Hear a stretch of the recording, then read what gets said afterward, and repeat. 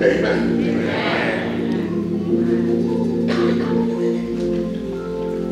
want to share with you one verse this morning, and that's Matthew chapter 13, verse 44. Matthew 13, verse 44. Again, the kingdom of heaven is like a treasure hidden in a field, which a man found and hid. And for joy over it, he goes and sells all that he has and buys that field. One more time, please.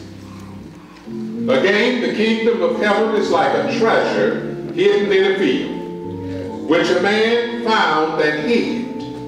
And for joy over it, he goes and sells all that he has and buys that field. Amen. Amen.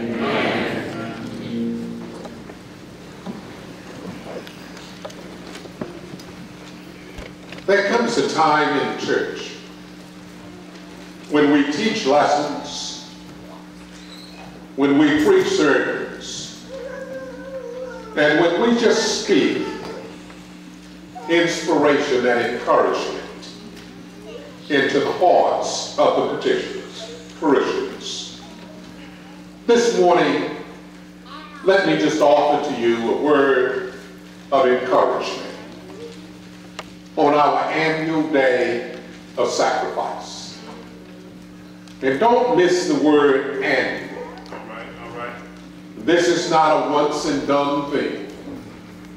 This is something we do or will do every year.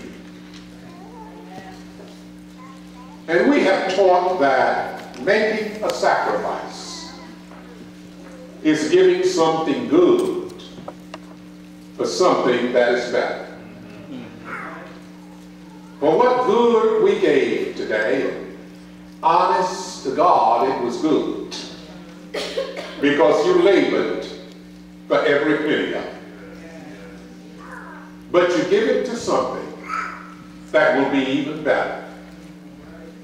For the return on a joyful gift is immeasurable. God gives back in so many ways. And as we begin the lesson of inspiration today, we look at Matthew 13, 44. Notice the words for the joy that's in that verse. For the joy. All right, all right. This man finds a field, and there is a treasure in the field. The one who owns it in the parable doesn't know the treasure is there.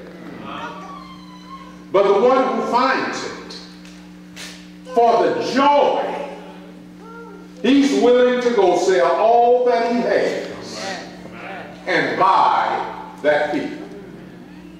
Now the treasure in the field is not some pot of money. For if so, he could have taken it in the darkness and not buy the field. But it is in, in, indicative that the treasure is some kind of precious metal. That's gold or silver or whatever in the field. And because he finds it there, he's going to go off and sell all he has and make an investment in that field. What Jesus is saying in the parable is that the gospel of salvation is as such a field. And when we come to the gospel for the joy of it, we should be willing to sacrifice all that we have and invest in the gospel.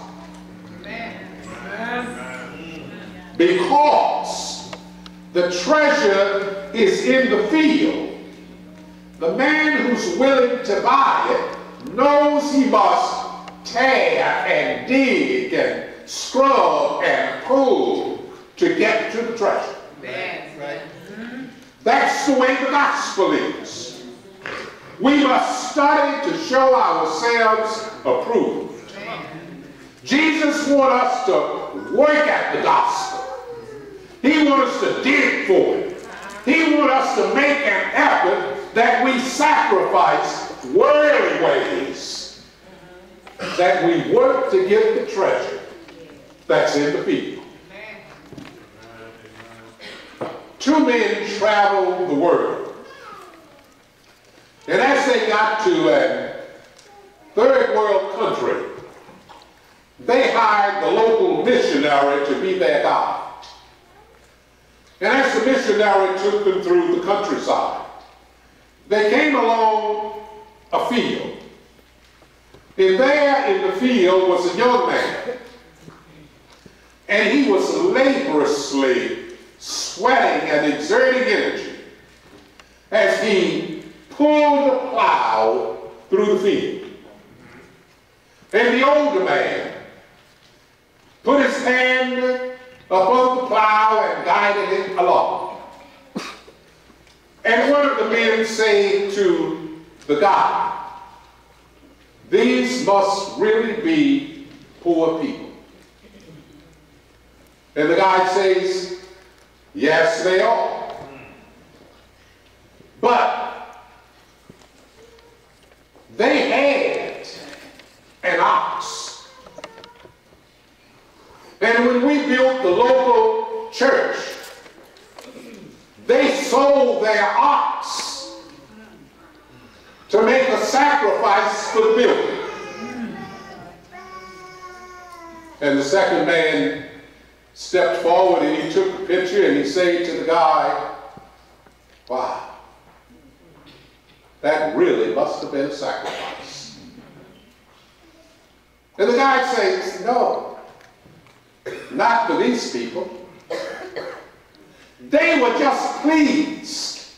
They had an ox to sell. For the joy of it. To have an ox to sell.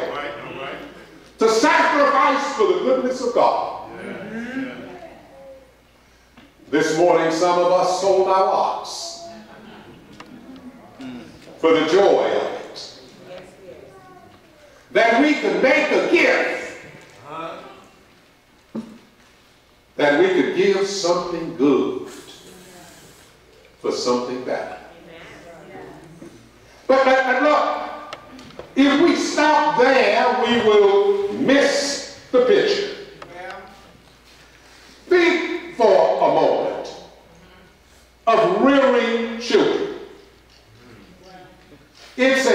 24-7 job of demanding proportions. Amen. And the only way you would not know that is in the event you've not really a child. 24-7 demanding proportions. Yes, Lord. Up oh, all hours of the night. Yes, yes. Playing soccer ball baseball day, football, school obligations, teaching how to catch and throw. Whatever there is in the course of the life of a child. But to see that child in their first recital, Oh, to see that child walk across the stage and get a college degree. For the joy of it. We sacrifice everything all over again. For the joy of it. When we see the fruit of what we have sacrificed for. It's no longer a sacrifice. It's a joy. Thank God we have an ox to sell. Thank God we invested in the life of a child. We don't complain. We do it again and again and again and again. When we see the joy that comes out of the sacrifices we make, we count it all a joy. I worked 31 years before retiring from a corporate job. Relocated 10 times. On occasion, I did business travel from Sunday night to Friday night. Now Joyce and I count it all a joy. Was it difficult at the time? Yes, it was. But the sacrifices we made is that we gave up something good. Today we have something better called a pension. Amen. We sold our ox. Now we got the joy of having done so. Today you sold an ox. Count it a joy. Why?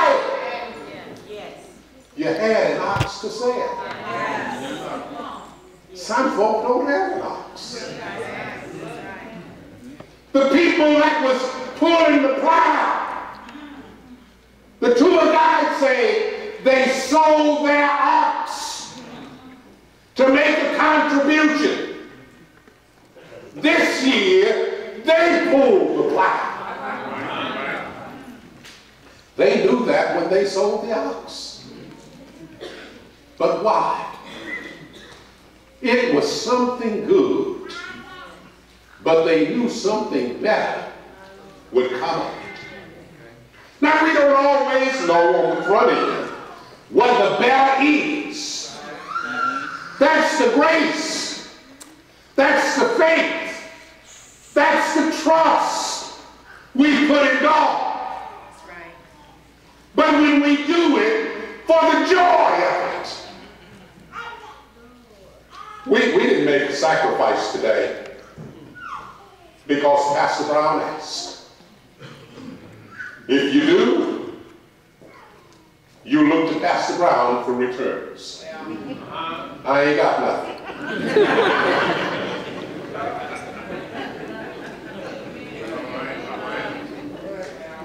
I had $20 when I left home, and I didn't get to church with it. I'm glad my sacrifice was in the form of a check made payable to Progressive, so no one could get that other than Progressive. If you made your sacrifice for Progressive, then you go tell the world what you did for Progressive. But if you made your sacrifice for the joy of the Lord, you won't say much about it. You'll just be happy that you could make a contribution for the joy of the Lord when you think of all he's done for you.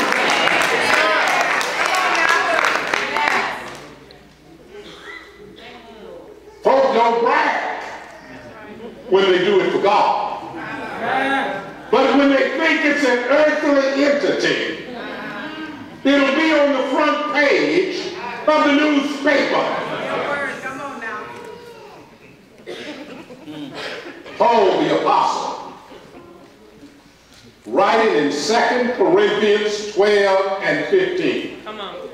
saying, I will very gladly spend and be spent for you. He's talking to God. Yes, yes. I will very gladly spend and be spent for you. Yes, yes. Paul was financially supported by friends, encouraged by the church, housed by strangers, beaten by adversaries, stoned by mean men, jailed for his beliefs, bitten by a serpent.